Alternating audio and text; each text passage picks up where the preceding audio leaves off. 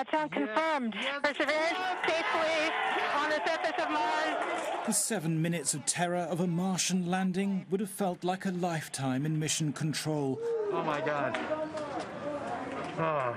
But Perseverance survived its perilous descent through the planet's thin atmosphere and within minutes was sending back pictures of its new home, the rocky terrain seen through a still dusty lens. We've been wondering where we're going to land, what are we going to see, and it's, it's really great to see rocks, you know, real geology right away. So we're extremely excited. Perseverance landed in the Jezero crater in the planet's northern hemisphere. It's 28 miles wide, and 3.5 billion years ago it's thought to have been a lake fed by a river. The rover will search for signs of ancient life in clay deposits in the river delta and along the lake's shoreline. This British astrobiologist has a few tiny fragments of a Martian meteorite that hit Antarctica long ago. Now he'll be helping to direct the rover towards the crater's most promising rocks. If conditions were the same on the early Earth and on early Mars, then why on one planet and not the other?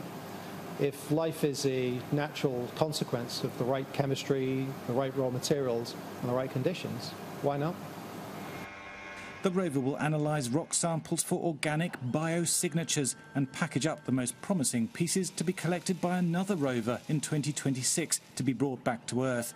Expensive, but finding evidence of life on another planet carries a high burden of proof.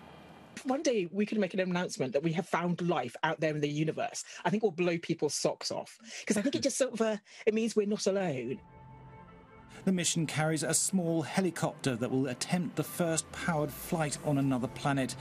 And there will also be the first attempt to generate oxygen from the carbon dioxide rich atmosphere. That would make future human exploration far easier. But for now, it's a self driving robot that will be making a mark on the Martian surface.